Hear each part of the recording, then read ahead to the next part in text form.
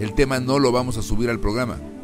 Tema ahorita lo estamos tratando en las redes. Para todos fue sorprendente cómo en la pre-gala, en la gala y en la post-gala del domingo no se habló para nada de lo sucedido con Nicola en el cuarto infierno. Básicamente semidesnudo por sus compañeros lo sometieron en lo que ellos llaman una broma slash juego y Sergio Mayer le puso crema en el trasero y sus compañeros lo nalguearon mientras que Nicola entre risas les decía que paren. Si quieren más detalles ya les hice video sobre esto, les dejo el link en el comentario fijado. El caso es que esto fue totalmente criticado por gran parte de la audiencia y esperaban algún tipo de sanción y o expulsión por parte del programa que hicieran algo pues y que no hicieran como que no pasó nada. Y pues antes de la pregala en el 24-7, en prácticamente privado solo para los que pagan el 24-7, la jefa los reunió a todos en el sofá de la sala y de manera muy genérica, sin especificar nada, dijo lo siguiente. Quiero recordarles que están siendo vistos las 24 horas del día por un público que posiblemente en más de una ocasión se identifique con ustedes. Por esta razón, cada una de sus palabras y sus actos reúnen un mensaje que se ve y sirve como ejemplo para mucha gente.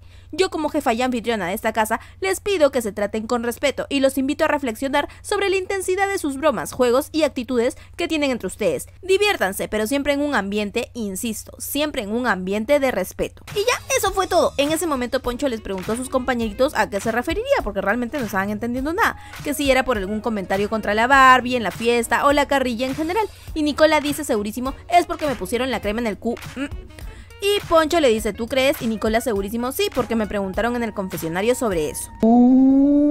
Y para variar, cambiaron la cámara. Bueno, cuestión que para esto la agencia de Nicola había dicho que iban a haber sanciones, y pues al final no pasó nada de eso el domingo. El lunes, en su podcast, si no me equivoco, René brindó declaraciones sobre esto, porque le preguntaron por qué nadie habló del tema en la gala, y René contó la verdad de la milanesa.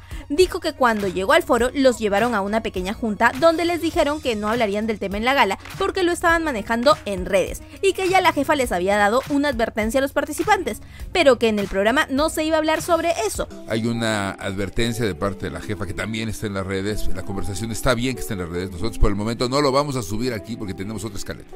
Entonces, no vamos a subir el tema hoy. No sabemos si el tema se subirá o no se subirá. Yo mismo no lo sé pero editorialmente lo que se decidió ayer fue no subir el tema al programa. Ahora, también le preguntaron qué opinaba él. Y claro que no se quedó callado. Y contó su opinión. A veces pasan cosas que no deben pasar y eso no debe pasar. Hay límites que no deben ser pasados y si no saben de esos límites, entonces no jueguen.